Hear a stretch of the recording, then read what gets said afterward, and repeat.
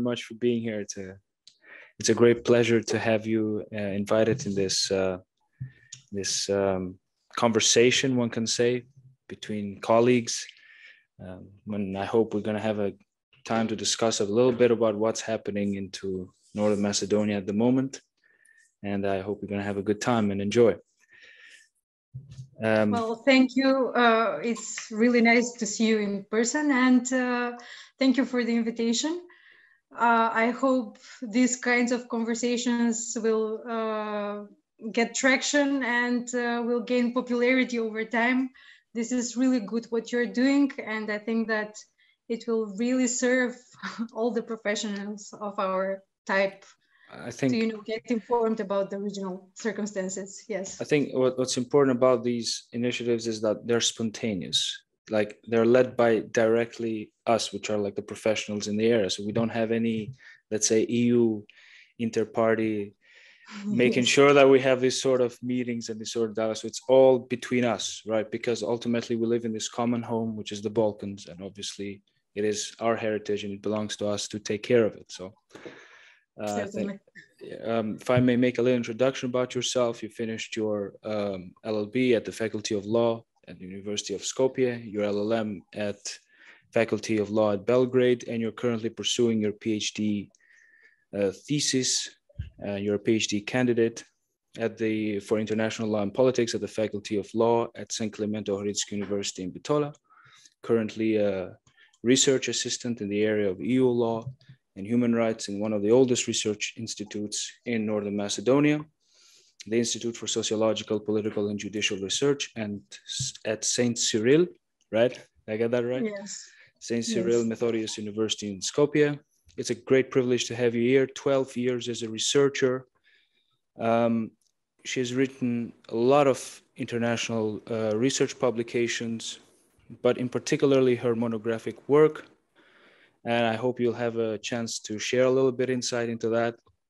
Uh, how can we get access to it? And because that those sorts of works from uh, consociational consociational democracy yes how to get from consociational democracy, democracy to, how to yes. get from consociational democracy to, to a majority, majority democracy. and i think yes. this this sort of topic pretty much can sum up very well not just northern macedonia but i guess the Western Balkan problem and, as a whole in many regards. And uh, you can share a little bit insight about your work here. I think it would be very fascinating. Just a little bit inside, what are some key facts we can have about it? Um, you're also working in one of your projects called the European Social Survey. You're an active participant in many uh, civil processes, NGOs, public expert debates, um, involved in many EU policies and EU draft legislation reports. So it's a great privilege to have you here, and uh, I hope we'll have a very interesting discussion. So tell us a little bit, what is this European Social Survey project you're working on? Uh, yes, well, uh, this is a large project. I have just an auxiliary role there. However, it is a great uh, undertaking. Mm -hmm. um, as you know, this is um, uh, this is uh, an empirical um, survey which um, uh, which involves almost all countries of the not only European Union but Europe as a continent. Mm-hmm. It is also a longitudinal uh, survey, so you can compare uh, data from it from every couple of years. it examines a lot of social social topics such as health, education, criminal justice, etc. So everything you can imagine, it's it's in the uh, survey, and uh, I'm I feel really privileged to be part of the team in my country to be realizing this. Uh, my institute, the Institute for Sociological and Political and Juridical Research, does this. It was really hard to get it and really hard to realize it. So um, I would recommend uh, anyone who who is not familiarized with this to mm-hmm. to open the site and to see how many how much data is there, comparable mm-hmm. data about all the countries, uh, which is of essential uh, meaning for uh, the policymakers. Right. Uh, so that we can create policies, so that we can make uh, data data based policies. Yes. Mm-hmm how, how difficult is this transition to a majority democracy? I, I think um, you're you're the kind of you're that kind of scholar which has that very well blend into the EU law and the jurisprudential aspect of the field, but also um, being a public law expert, you also have a very good grasp in the policies and how they affect the everyday life of citizens. And um, tell us a little bit what are some of the key key concepts of your work and where can we where can we get access to it? Perhaps? Uh, well, actually, this was a work yeah, I think, uh, several years ago. Yeah. Now, currently, my work is. If you're uh, working more, a new work, new project, yeah. Yes.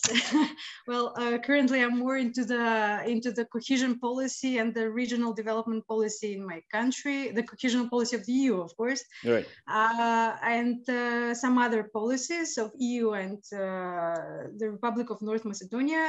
so. Uh, this um, uh, the transition from uh, consociational towards majority democracy is something that I would like to set aside now, because mm-hmm. it's not the uh, the primary topic of the uh, of the EU integration at the moment, since um, this is something that we need to do. We introduced consociational democracy to uh, balance a lot of previous injustices uh, right. in terms of uh, of ethnic uh, disproportions right. In the country. but um, over the time, the mm-hmm. consociational democracy has delivered certain results right. and has outlived itself. So mm-hmm. now, at the point, we do not have the need to implore this concept Mm-hmm. But we need to engage into majority democracy because the consociational democracy is draining our public resources and right. doesn't serve anymore a purpose, you know, because mm-hmm. the point was to integrate uh, a lot of ethnicities. Now mm-hmm. that has mm-hmm. been done. So uh, the majority democracy and the civil society is something that we should aspire to at the do, moment. So do you think like the Ohrid agreement, um, that sort of, uh, let's say, building block of modern uh, Macedonian state. Do you yes. think it's time for perhaps for a revision of it or moving beyond it? Moving beyond it, um, a lot of people had uh, took issue with that mm-hmm. when it happened, yeah. Yeah. but it really served the purpose. Right. It, it is ingrained in our constitutional being as a country. It mm-hmm. served the purpose. It was beneficial at the moment. It uh, produced many uh, many results that we wish to mm-hmm. to have as a society, even though some people were not aware that this is something that, uh, that we should strive to. Mm-hmm. Uh, this was achieved, and today, since it right. has outlived itself, yes. today yeah. is, is, time for something new. But mm-hmm. it was beneficial at the time being. So mm-hmm. yes, I would say that. Mm-hmm. Um, the the current I mean, Albania. I'm sorry, just to say, it is really interesting that you know about the Ohrid agreement, since yeah, of course. Know, I mean, it's something more internal. um, the currently Albania and North Macedonia they are in the process to join the EU, right? They're at the at the at the door. However, current uh, political turmoil, particularly what's happening between Northern Macedonia and and Bulgaria, have sort of kept this trend at bay. Now, um, as, a, as a human rights expert and rule of law expert, right? Are, are there are there any basis for such? Um, so what, what what's happening between Bulgaria and Northern Macedonia? Like, do, does that does this conflict is based on some? Um, does does it have legal impact? Like, could could it? Are, are there, for example, uh, um, citizenship um, quarrels, or are there? Um, how how would that affects uh, the journey later on? Uh, this is a really interesting question. Uh, it requires probably. So are there are there are there human rights issues like because you're a human rights advocate in many respects in the in. Uh... well, uh, of course, there are human rights issues. Uh, there always are human rights issues when uh, two countries uh, have some kind of dispute or unresolved issues, of course. Um, first and foremost, our uh, our process has been prolonged since, uh, mm-hmm. it, as you know, uh, we have been the first country to sign the stabilization and association, association agreement. Right. Yes, in 2001, it entered into force 2004. And just remember, we were the first country, uh, uh, along with Croatia, to be granted the, the candidate status. Right.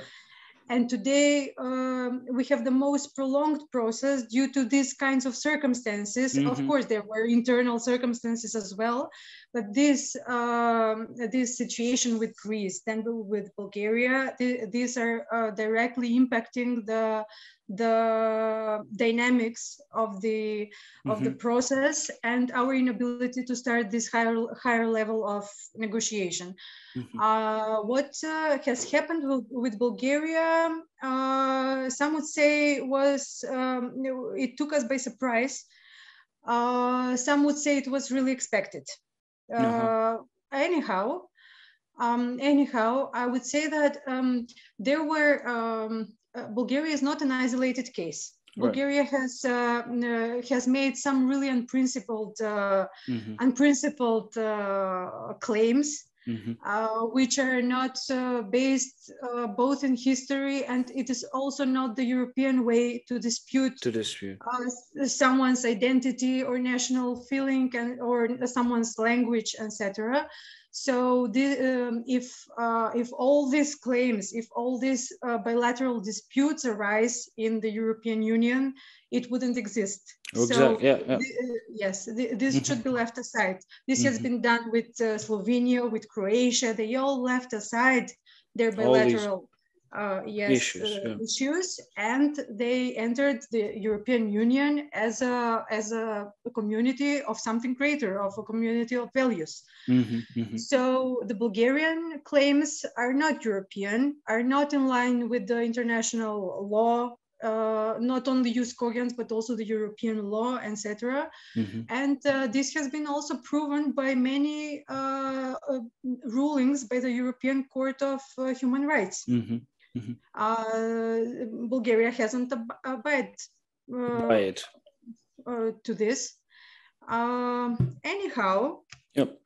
Uh, anyhow, uh, anyhow, Bulgaria. So it's a strictly uh, political process. It isn't really it doesn't have anything to do with process. the EU in, in itself as a whole. It's yes. more like a it's more like a yes. political hinge which they keep Bulgaria which they keep uh, uh, Northern Macedonia, right? So it's part of that political yes, but, process. But we can, but we cannot know what uh, what the the background is entirely because, for mm-hmm. instance, uh, some would say that Bulgaria is is isolated uh, in this process since uh, it has suffered. You know that funds have been uh, restrained from Bulgaria because of this from the mm-hmm. EU. Mm-hmm. Uh, also, it has been reprimanded by great European leaders, especially by, by Germany, etc. So uh, some would say that Bulgaria suffers because of this.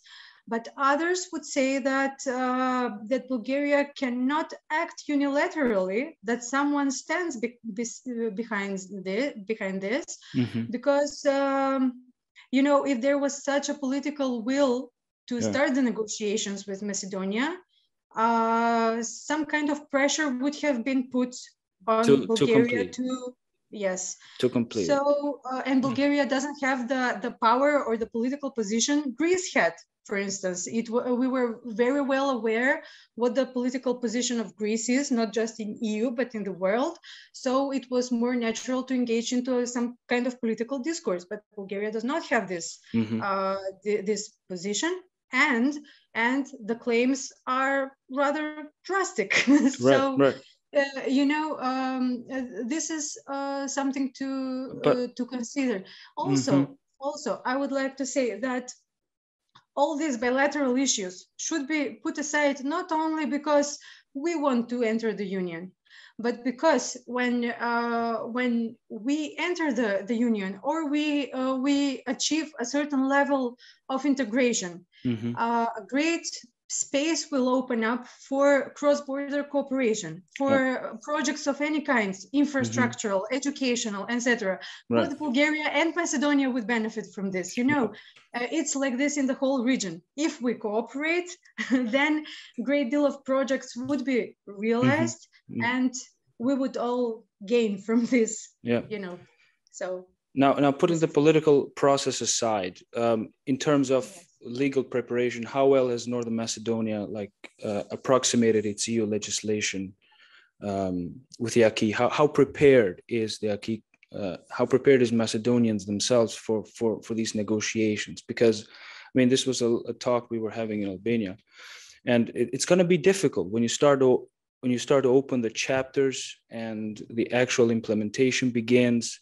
It's an it's an entirely new field for, for most mm-hmm. for most of the citizens, and I think here experts like yourself can play a very important role, not only to bridge the legislation gap that exists, but also um, make the law um, acceptable to the ordinary citizens because essentially we're taking foreign law and implementing it into our own domestic system. So um, you rightly said that it has already begun. It was the first country to start the, the ascension mm-hmm. process. And how, how well has, has that process gone? How well is that implementation stage been going so far? Mm-hmm. Yes, uh, this is extremely important mm. question. Yeah. Yeah. I guess we're. I mean, just your thoughts, really. Yeah. Yes. Just your thoughts. Uh, what are uh, some? Well, uh, it's not the thoughts so much as the factual exactly. uh, situation. Uh, well, uh, we we have transposed a great deal of the EU uh, legislation mm-hmm. into our law, um, into our legislature, into the internal uh, legal system, and we have done this for many years now. Uh, we have been doing this for many years, especially at the beginning when there was a great enthusiasm yeah. about this and uh, we are constantly doing this so i think we have um, we have good progress in this we have uh, internalized a great deal of the european law especially in terms of human rights mm-hmm. uh, there isn't uh, much more to do here we mm-hmm. have the the the law However, uh, the problem is more on the implementation side. Yes. You know, I, I had with Dusan the same conversation, and he will also point out that well it's it's it's okay we implement all these laws but then let's build the bylaws to implement it there in the actual terrain i mean we're having a lot of problems he was saying like to to create the, the bylaws to implement it so i think this is the common challenge we face yes but not only the bylaws the bylaws can be also uh, created you know uh, mm-hmm. it's uh, how the institutions implement how they practice the law mm-hmm. how they apply the the, the these rules because right. the rules are good. We have always had a decent legislature, even before the, the European process. Um, we, uh, we have, this is some legacy of the previous system. We have quality nomotechnics. Uh, there is not much problem in um, in adjusting to new to new circumstances of course we are facing deficiencies in the law uh, from any kind you know like Obviously. legal holes, as yeah. we say, or con- yeah. contradictory uh, laws, or sometimes even, you know, when um, we're not sure what is the lex specialis in, in the particular case, uh, a certain institution uh, is governed by a certain lex specialis, and then the other institution claims it's another. So, mm-hmm. Uh, you know, we're experiencing all kinds of difficulties with the law. Uh, but uh, all these are secondary I would say that the prevailing feature of the of our legislature, both as internal legislature and as accommodated to the European one, is the feature of quality. I would say this uh, mm-hmm. uh, as a personal opinion. So yeah, yeah, some might some might disagree. I'm also not proponent of the people who always criticize everything or always say that everything is good. Uh, I stand somewhere in between. Right. So I would say that the legislature is pretty much uh, of good quality, mm-hmm. the implementation is a more problematic part. What is happening with the European um, legislature in Macedonia, not uh, as regulations and directives that are transposed, this is not so problematic, but uh, you know, Macedonian legal system, unlike the USA's or UK's case law, mm-hmm. where the precedents are the, the basic source of the of the law, uh, the Macedonian legal system is a typical continental uh, legal system where the written laws are the basic source. Mm-hmm. But uh, of course, it has nothing is in a, uh, its pure form. We have uh, we have also to abide uh, some judges practice, yeah. some course practice. So these are mixed elements. Of mm-hmm. course, there is mm-hmm. hybrid elements, and we have also adopted that uh, that we must obey the uh, we must uh, obey the the rulings of the European Court, Court of Human Rights. Human yeah. rights. Yeah. This is done really seldomly. So we mm. receive their rulings, but you know our judges do not use them uh-huh. uh, frequently. Also, our advocates do not use them. I'm sorry to say, but also the ones that should be really um, ambitious in this term emphasizing it yeah. doing so yes uh-huh. and uh, also we have problem with uh, with their implementation so um, i guess we, re- we receive them and mm-hmm. we do not exercise them enough even though this is a legal uh, it, it's an imperative norm for us to use them so mm-hmm. the practice is uh, is mixed. Uh, Serbia does this a lot more and has mm-hmm. does uh, and has done this for many years now. We're mm-hmm. just at uh, at the beginning of the process. I don't know what it's like for Albania. Well, is, th- this the same? I, th- I think um, I mean, bo- in, in the entire Western Balkans was like this process of judicial maturity. I mean, we have the same issue, really. I mean, we mm-hmm. have excellent laws implementing the latest EU acquis frameworks, mm-hmm. yet how do you incorporate that into the way how the bureaucracy works and functions? Let's say a lot of EU um, legislations on plastics and waste management framework. How do you how do you incorporate that into your own domestic system so that it functions as it should, like the, the waste stream hierarchy, for example, right? Things of that nature, right? So, and that they they pretty much in its entirety they lack or they are there, but they don't know how to properly implement it. So I think it's a process of maturity that will come with time. Yes. But um, but important is that that we are we keep this process of continuously reforming and reshaping and refining the judiciary system. And um, here in albania we've been engaged in this in this vicious fight in the judicial reform. Almost half of the albanian judiciary uh, judges have been wiped out of the system because it turns out they had um, it's part of this vetting process as we say it been uh, they they turned out to have these sort of um, unjustifiable sources of income and things of that nature. So they were out. So basically we have stockpiles of cases in the high court. I mean in our own office we have like 10 15 cases in the high court. They've been there like since 2016 uh, and then you know things of that nature. And i wanted to know like north macedonia like what what what is the usual timeline of a court case there right so uh, uh, do you have any idea or like or how is the, the, the structure of the system really? Like do, do you guys have a, a reform that has been going there? How has that changed the shape of the judiciary? Has that made the justice more accessible in many regards? In albania we know that's mm-hmm. what's one of the main reasons why we do the reform to make justice more acceptable. The people don't believe in the justice. It's as simple as that. They mm-hmm. consider the justice the most corrupt area and same here. Yeah yeah so i think a lot of has to do with image a lot of it has to do with functionality like i don't know yes. is there a strategy on judicial reform there or uh, yes, uh, well, I would uh, like later on to come back to this vetting process, mm. but uh, it is a really interesting question.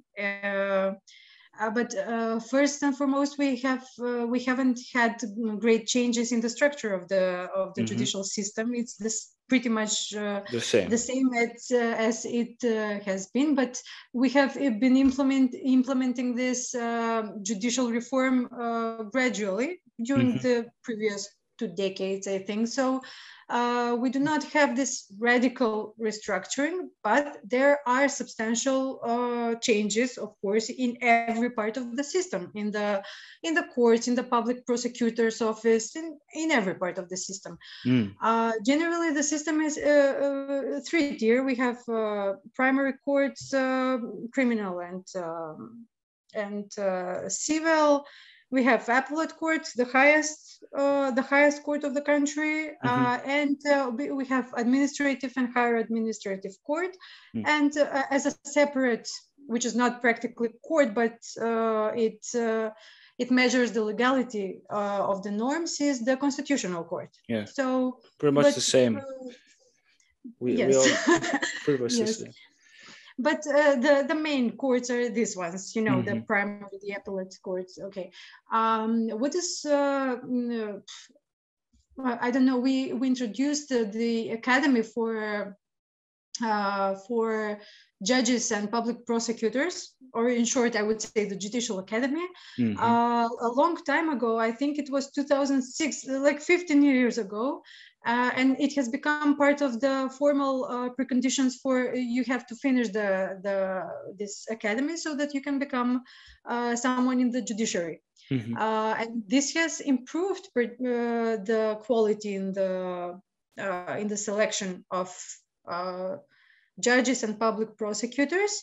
However, at the beginning, there was also great enthusiasm. This, this was also done by the suggestion, not but not suggestion, but mm-hmm. insisting on the European Union. Right. Uh, it was established uh, as a special body, uh, but over the time, it has decreased its quality. And also, there uh, there is decreased quality in the selection of the uh, of the students mm-hmm, mm-hmm. and etc uh, anyhow this is this is a good thing that it exists because it is uh, it is an additional uh, education educative process after the the mm-hmm. legal faculties and mm-hmm. i have mm-hmm. worked at a legal faculty for five years i must say that it mm-hmm. is extremely important to invest into education. This, these are the first steps in our competence as part uh, of the judiciary uh, further on in life. Yeah, uh, yeah we yeah. have also problems with the primary and secondary education. You know, you cannot do wonders at the tertiary level when uh, people are uh, we, uh, when people lack general knowledge from the first cycles. Mm-hmm, mm-hmm.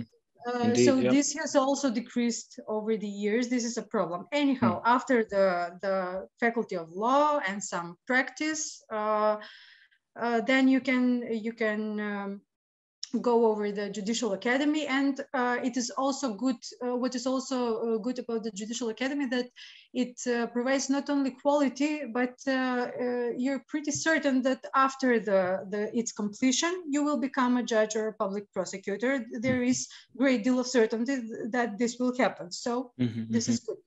Mm-hmm anyhow, the the process of uh, of impartiality, of accountability, yeah. of everything that should be a control mechanism in the judiciary is mostly done by the separate body, the Judicial Council. Do you have this in Albania? We do have these recently set up bodies like supervisory bodies like check the quality uh-huh. of the uh-huh. judges the prosecutors yes. the high prosecutorial yes. council the high the high yes. judicial council yes well we have this judicial council this is a separate independent body that mm. uh, is responsible for the selection or dismissal of judges so there is no accountability if the, the judicial council doesn't work properly. We, we've had this for many years, but mm-hmm. it has uh, it, it, has lived over some reforms. Uh, and you know, at first, we, ha- we have had this body since the, the 1991. Yeah, yeah. so it's nothing new, but the changes have been uh, have been new over time. You know, at the beginning, there was this great debate about whether it should be uh, consisted of professional judges, so that judges would uh, create this body and uh, uh, it should be judges by judges you know mm-hmm. from the people and by the people. Well, but uh, it doesn't work that yes. well here. Like it didn't here we tried a similar process. It didn't work because well they were colleagues right? They were friends in many yes. and they weren't they weren't exactly. Yes so they weren't very impartial. Yes exactly this was part of the problem on one hand it is good to have professional body Mm-hmm. But on the other hand, you have this problem that you mentioned. And then over the time, you know, about everything, we have this great debates. yeah. So over time, there was debate whether the, the people, uh, these uh, members of the council should be elected by the uh, assembly like it was before. Mm-hmm. Uh, so now at the moment we have a combined system where uh, I think eight uh, eight members are uh, judges selected from the lines of the judges uh, and by mm-hmm. judges, and uh, another five are elected by the Assembly of the Republic of North Macedonia, out of which two are uh, proposed by the president. And uh, this the whole body is 15 members. Two members are uh, ex officio the minister of justice, justice, and the president of the highest court. But i think that these judges are the central part the of central the, of the, of the Yes. Mm-hmm, mm-hmm. Um, this is extremely important uh, body for the for the accessibility of justice and for the accountability of the judges. Um, and uh, you know, uh, there were some numbers that uh, I don't know, something north from 700 appeals have been made about judges' mis- misconduct to this body. Uh, wow. We can also, as citizens, not only uh, the judges or the formal institution, but uh, but also we as citizens can make these applications for mm-hmm. uh, appeals for uh, judges' misconduct, and only four or six of them have been processed properly. So as you oh, can wow. see, yeah. this is also something that creates uh, distrust in the judiciary because yeah, pretty much. At yeah. point, someone feels encouraged to to um, to say, okay, this judge acted improperly, and then nothing happens. So, mm-hmm. as you can see, yes. Uh, and we come to the vetting process that you mentioned. This yeah. is really interesting. Um, we had great debates about this vetting process. Uh, the vetting is such a pejorative word. Yeah, yeah. I would yeah. like to circumvent it a bit, but anyhow, it was. Um, uh, the vetting under very well thought out circumstances could have proved itself uh, as substantial step towards uh, quality of uh, and uh, towards quality of the judiciary. Mm-hmm. But uh, this is very hard to do, as you know. Exactly. Uh, namely, there was the the you have to establish the principles upon which vetting should take place, and this is a very sensitive issue. Then you have the problem with efficiency because mm-hmm. then the cases will pile on. By the way, we do not have that kind of problem with efficiency. We we're good with efficiency. Mm-hmm. there are not many piled up cases, but oh, they wow. could have been. Also, uh, we do not have so many prepared judges just standing on the, the lines waiting to enter. You know how the process goes. You have to uh, to uh, admit someone in the judicial process, to train someone, mm-hmm. etc.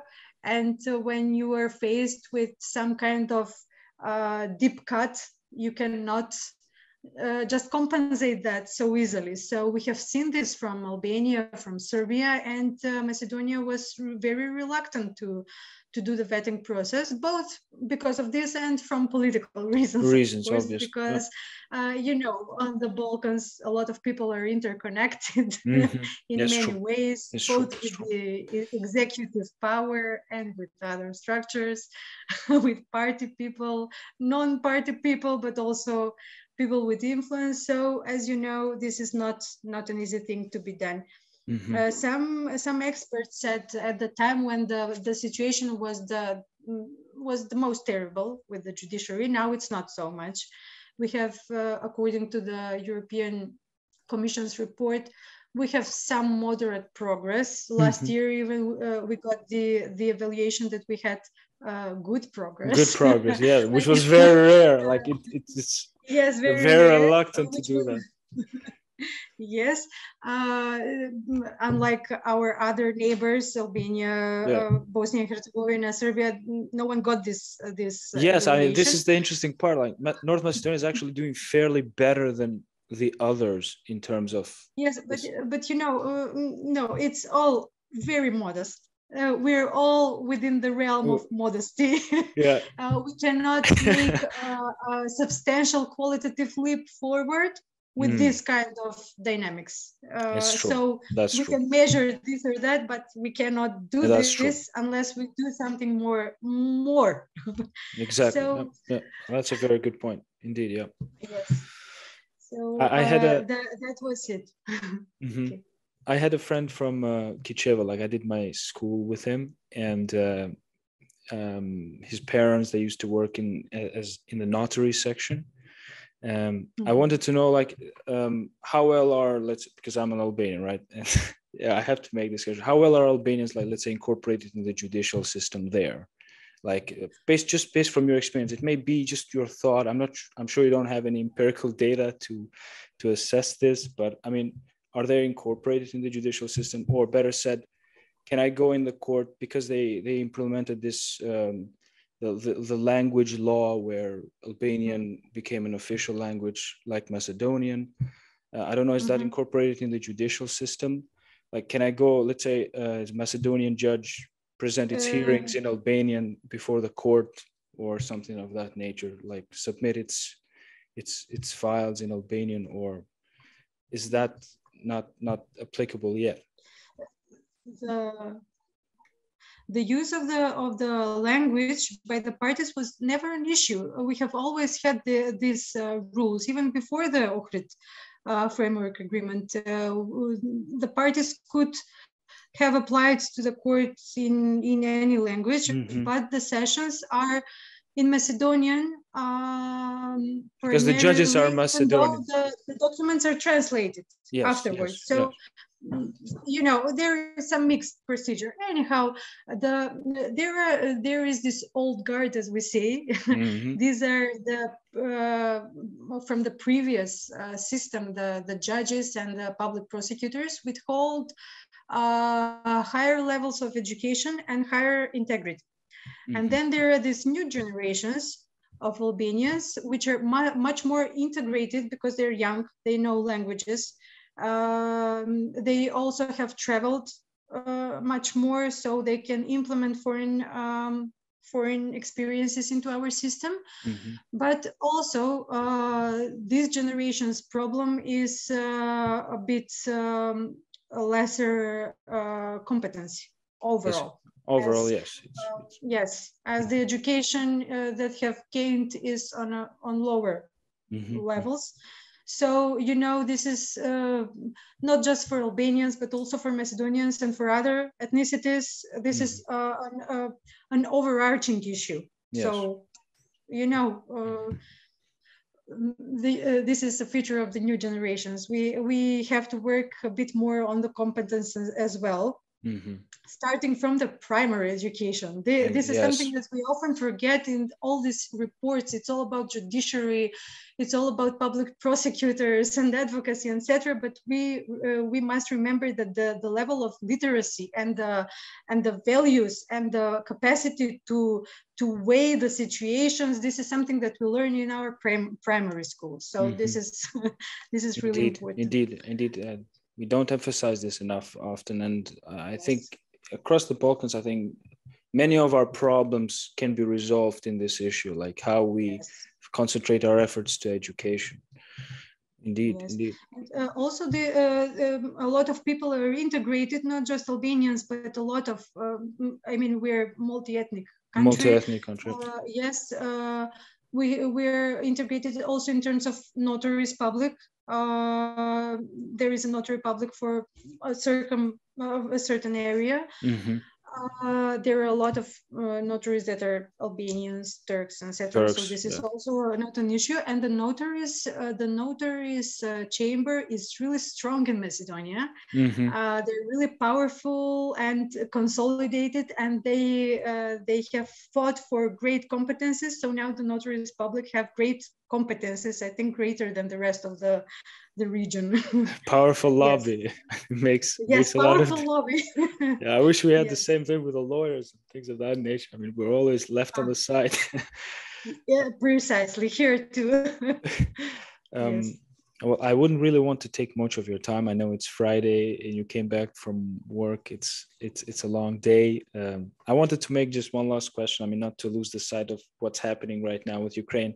I mean, you recently you wrote I mean, I, I had the chance to look at you, one of your academic publications. It was on the concept of the international responsibilities of state in, in the eyes of international public law system.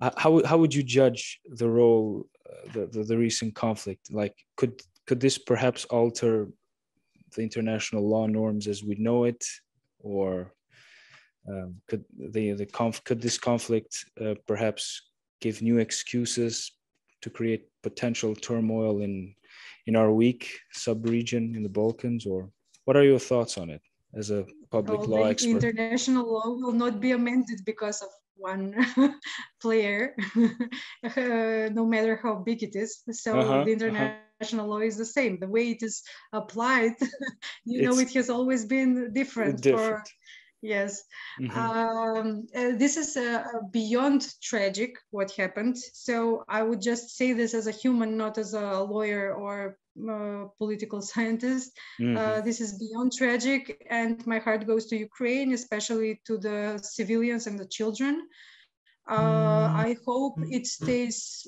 uh, I, I, hope it stays limited mm-hmm. in territorial sense uh, but not only in territorial sense, but also in terms of implications for the for the broader uh, regions such as Europe and such as ourselves. This will not right. be without uh, without uh, implications for the Balkans or for the EU integration process, mm-hmm. but it can go either way. It can be both good or bad for us. mm-hmm. I'm not sure at this uh, from this point where it would go.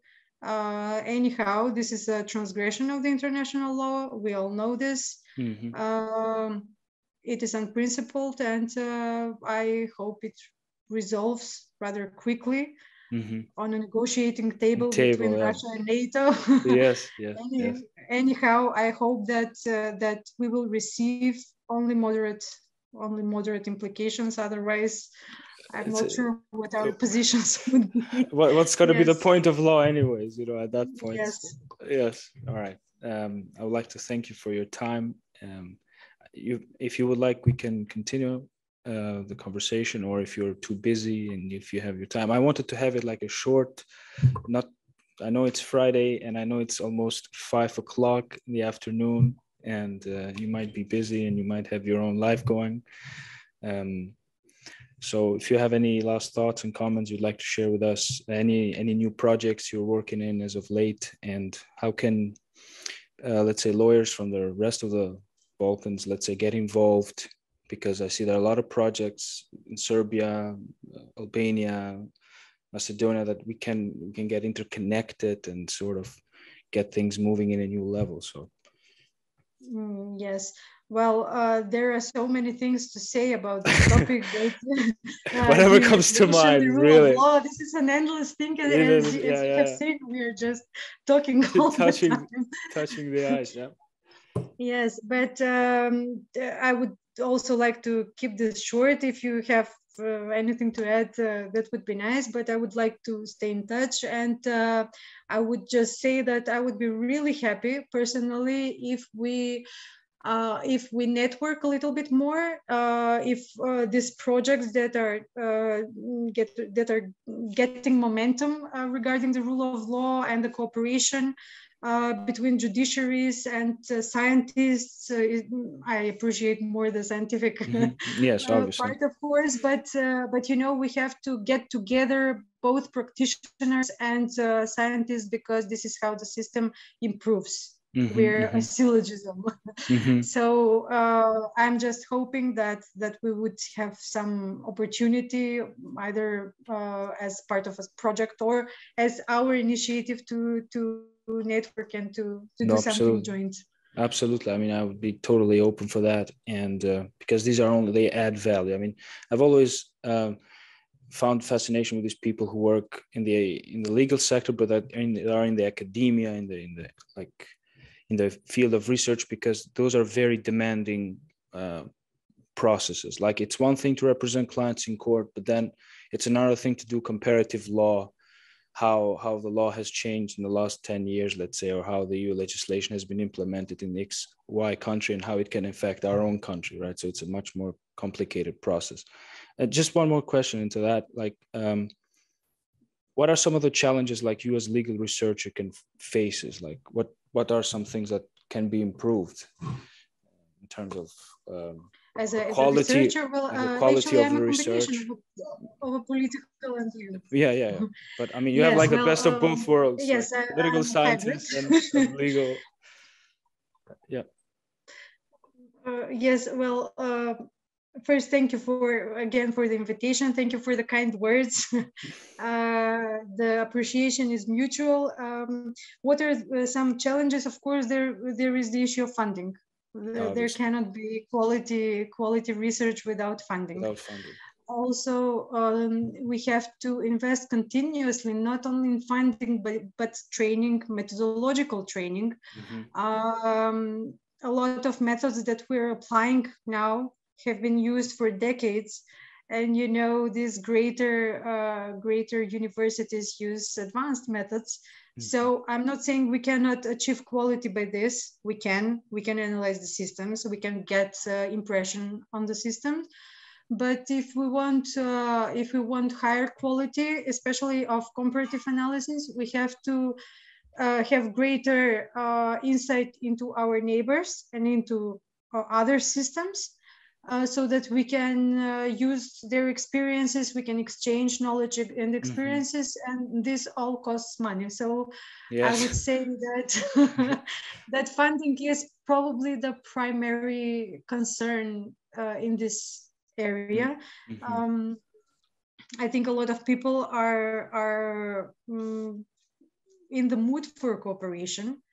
So uh, I think, and uh, also I think there are a lot of people that are well educated, especially abroad, and they have come to our countries again. You know, at, at one previous point in time, a lot of people stayed abroad, and now a lot of people are uh, getting home. So Returning this is something that, that's very po- yes. that's positive in North Macedonia, but I think here it's it's quite the opposite. I think people here it continues that same idea like you go back, you go back, like you don't come back here. I mean, it's it's it's a very it's it's a very suffocating environment, really. I mean, but I've seen like in North Macedonia, like things are a lot more different. People, the young here, the young there are much more hopeful of the life there, at least for, from what Perhaps I've seen. Not so much. not so much, but I mean, in general, people are returning there. You know, like at least that's something. Yeah, unlike here, mm-hmm. like.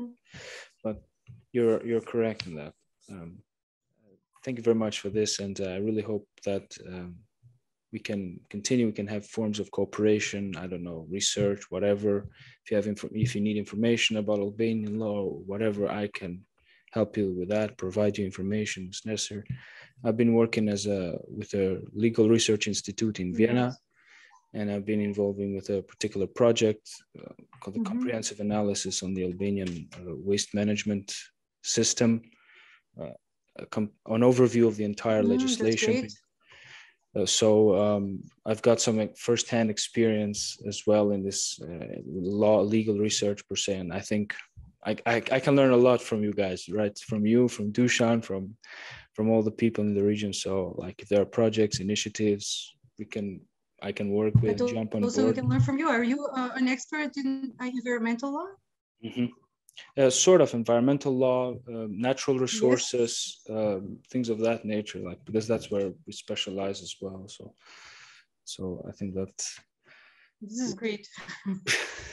This is great uh, we, we we don't really know each other in many regards. I mean, as professionals, and I think it's it's we can discover fascinating things about ourselves. Like, and uh, yes. uh, thank you very much again. And yes, but primarily, I think that we're much more similar than uh, yes, yeah, I, I, I, yes, yes. Honestly, yes. honestly, that was the thing. Yeah, like we're so much similar, and um, I think many of the problem is because we don't know much one another, and this could very much help change the trajectory in some way. Yes. All right. Thank yes. you. Yes. Actually, I'm hoping to work on a on a project now. It's in the phase of application, but I'm really hoping that we will get this project about the the perception among Macedonians and Bulgarians because we haven't had the opportunity to collaborate uh, much with Bulgarians. Uh-huh. Uh, this is also an issue because we usually uh, collaborate with the ex-Yugoslavian republics, you know, yes, Serbia, Croatia. This is kind of the, the go-to mode. and uh, it, it would be really good if we had more more colleagues from Bulgaria and Albania so that we can mm-hmm. uh, really okay. cooperate regionally as it as we should. well, uh, it was really nice to know more things about you. All right, thank you very much for your time, and I wish you a great great afternoon. Likewise. Bye. Bye bye.